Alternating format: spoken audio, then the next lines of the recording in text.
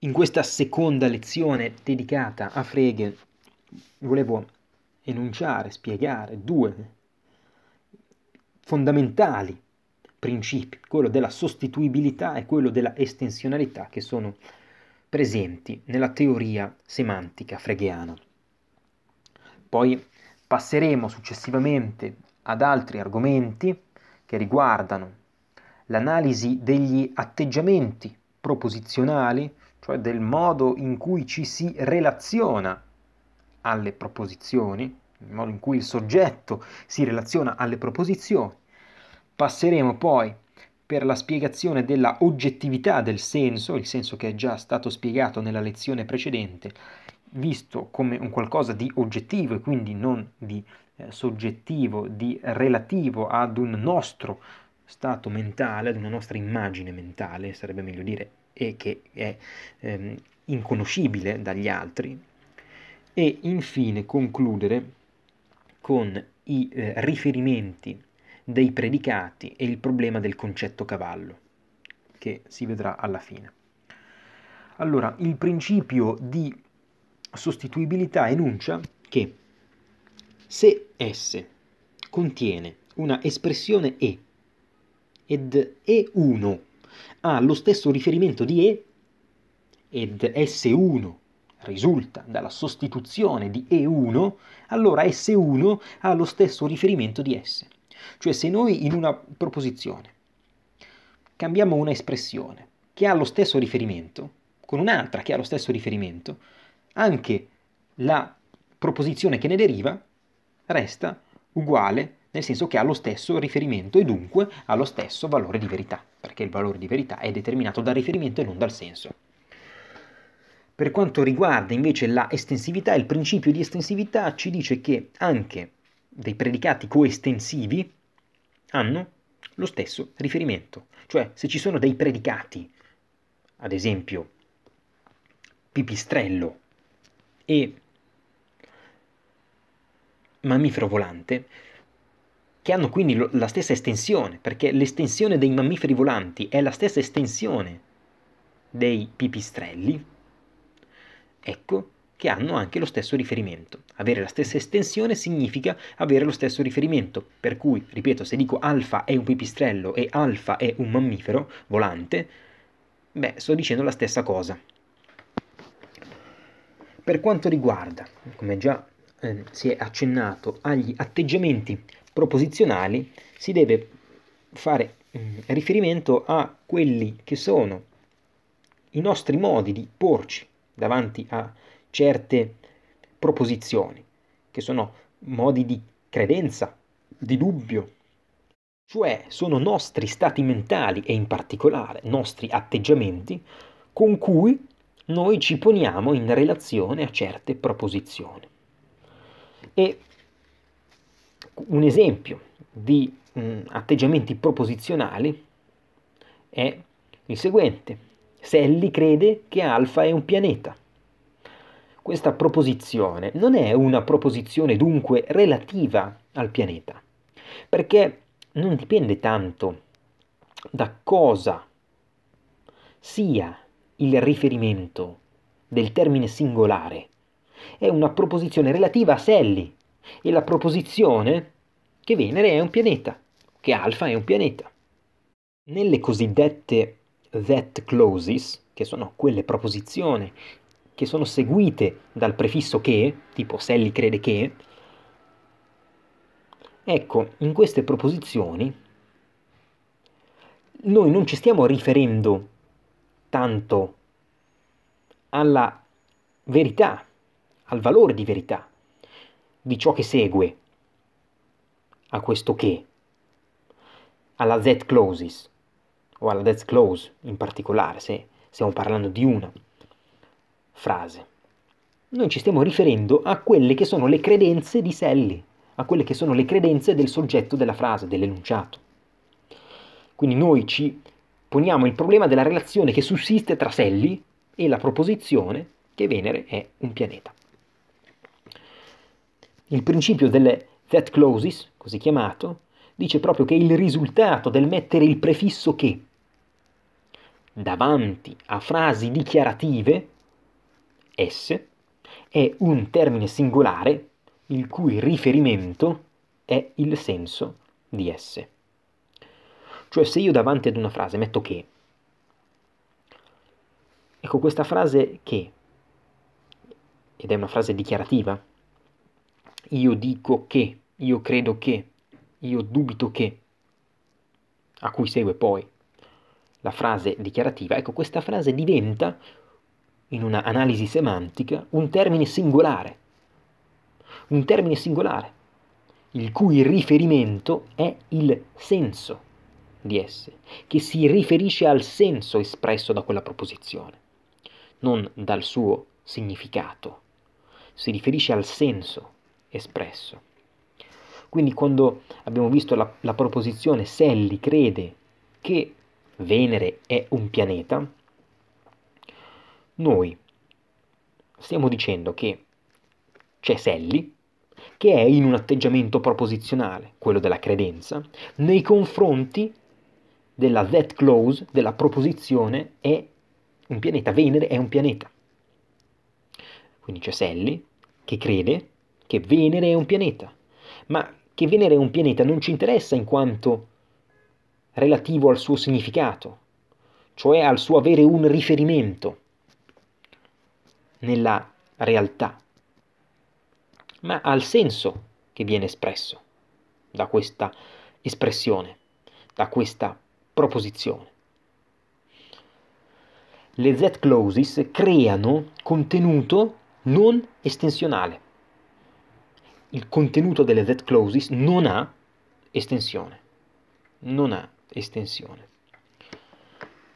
Questo significa che il riferimento di una Z-clause non dipende dal riferimento della frase inserita, ma dal senso della frase inserita, per cui non vale la sostitutività.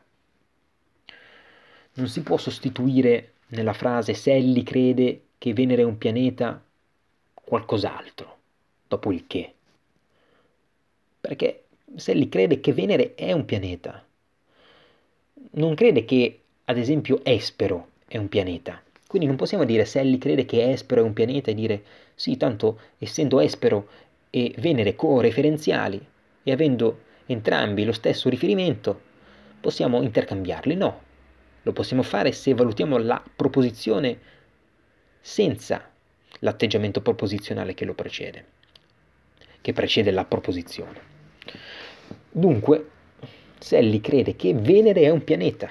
Ci riferiamo al suo senso, non al suo riferimento. Dunque non possiamo sostituirlo. Ecco che il principio di sostitutività che si è visto è collegato all'analisi degli atteggiamenti proposizionali.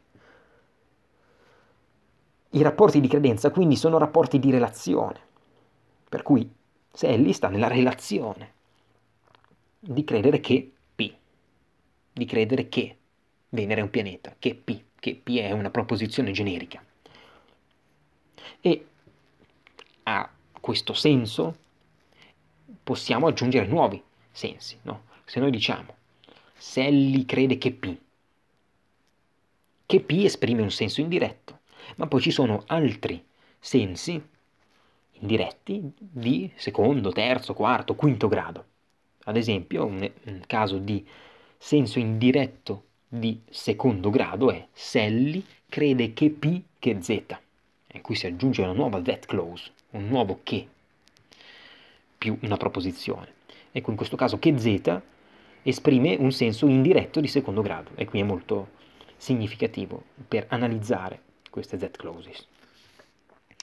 Siccome abbiamo anche qui parlato di senso, è importante andare a vedere che il senso, di cui già si è parlato anche nella eh, lezione precedente, il senso ha una sua oggettività ed è una oggettività fondamentale che deve essere compresa e per farcelo capire Frege fa un parallelismo tra la Luna, il telescopio e la esperienza soggettiva.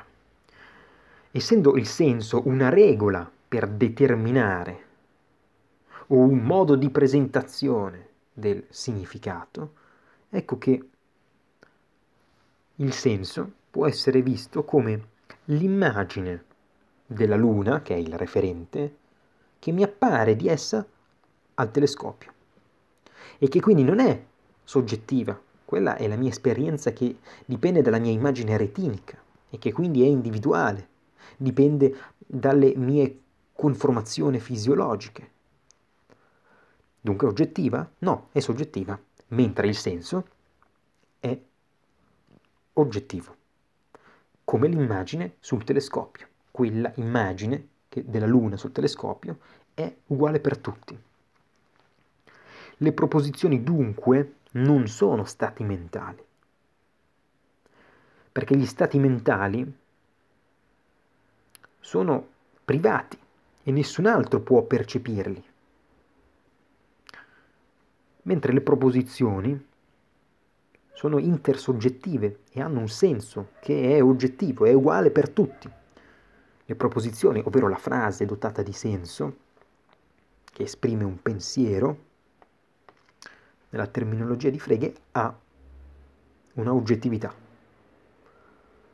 Una oggettività che è un significato pubblico, non soggettivo.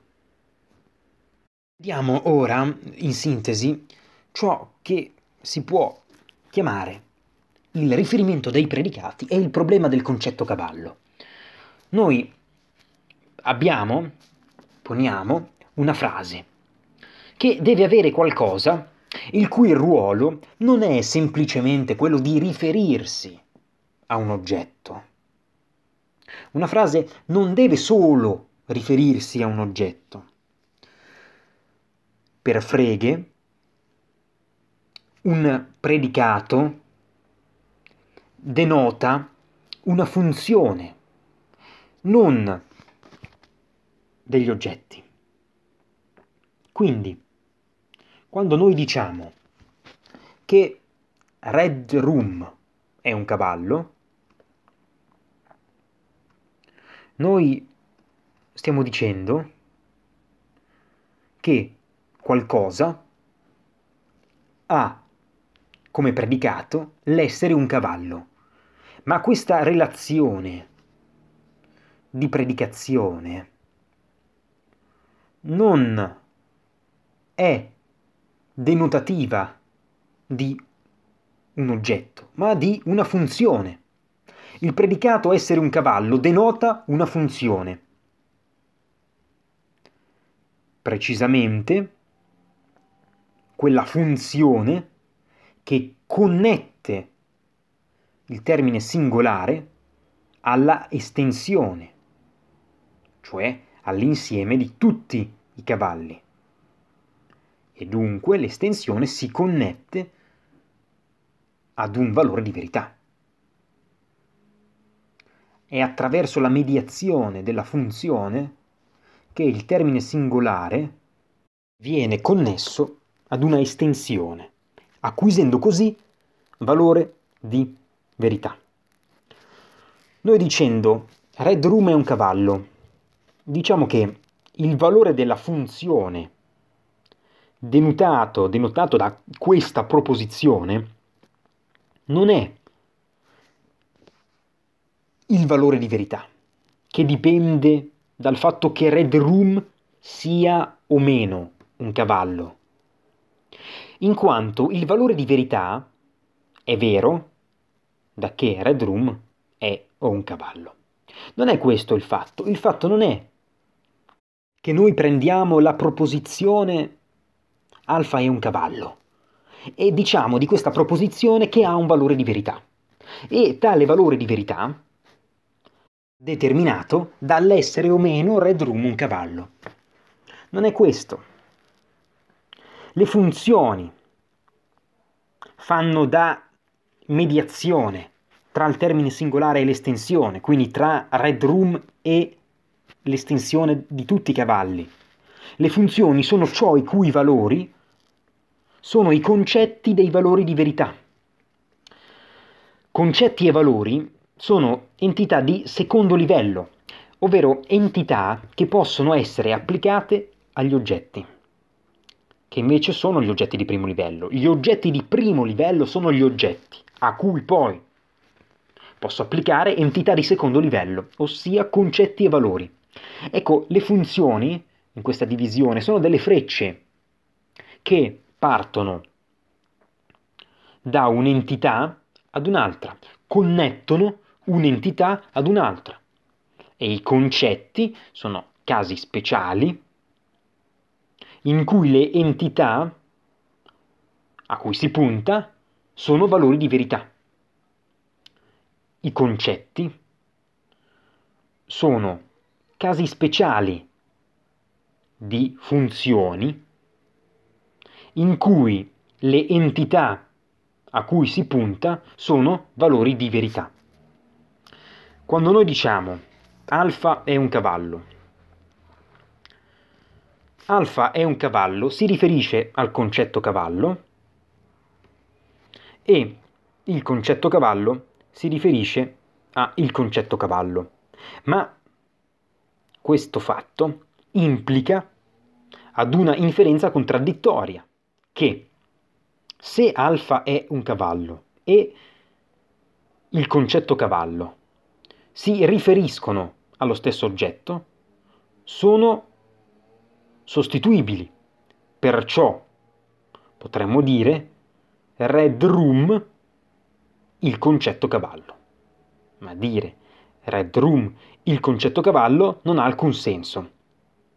Per cui noi dobbiamo ritenere che i predicati non hanno un riferimento, ma hanno un riferimento solo quando stanno performando i loro ruoli normali nelle frasi complete.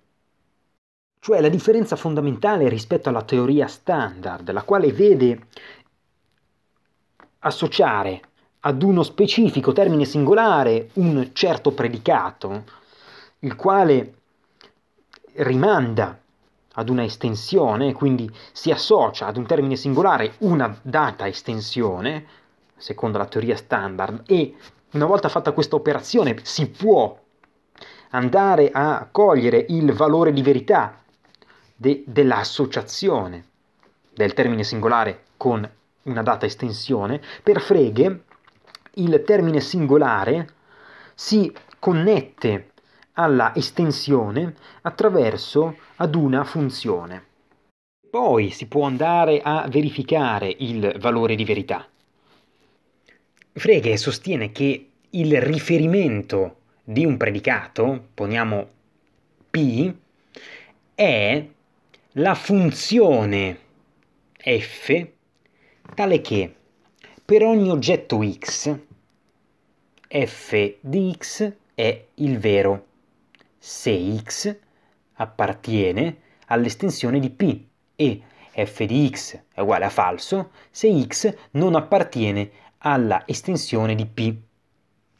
Per semplificare ulteriormente la questione che è complessa, se noi abbiamo un termine singolare, che nell'esempio che abbiamo fatto è red room, e una certa estensione, cioè quella dei cavalli, quando noi diciamo che red room è un cavallo, stiamo facendo questa operazione. Stiamo prendendo un termine singolare, ossia red room, e stiamo dicendo la funzione f di Red Room è vera solo se Red Room cade sotto l'estensione dei cavalli. Quindi questa funzione media tra il termine singolare e l'estensione. E tale funzione è, ancora una volta, una funzione f di Red Room è vera se Red Room cade sotto l'estensione di cavalli ed è falso se invece non cade sotto tale estensione. Ultimo principio di Frege è il principio del contesto per cui il significato è sempre presente all'interno di un contesto e mai nella parola isolata. È il contesto che mi dà il significato della parola e non tanto la parola presa in sé e per sé, isolatamente. Per cui quando dico che la neve è bianca, neve non può riferirsi a un valore di verità se non all'interno di questa frase, cioè della frase, della proposizione la neve è bianca. La parola neve dentro la proposizione può avere un valore di verità e assumere dunque un significato. Mentre altrimenti non sarebbe possibile che abbia un significato, però tutto ciò è in contraddizione, ed è qui un grande problema che emerge dallo studio dei testi di Frege, tra la composizionalità e il contesto, cioè tra il principio di composizionalità e il principio del contesto, perché nel primo caso, quello di composizionalità, ci dice che il senso della frase è determinato dal senso delle sue parti. E lo stesso vale per il significato della frase che è determinato dal significato delle sue parti, ma dall'altro lato il contesto ci dice l'opposto, cioè che il senso delle parti, delle singole parole, è determinato dal senso complessivo della frase, dell'enunciato. E quindi questo appare inconciliabile, questo conflitto è problematico e deve essere risolto.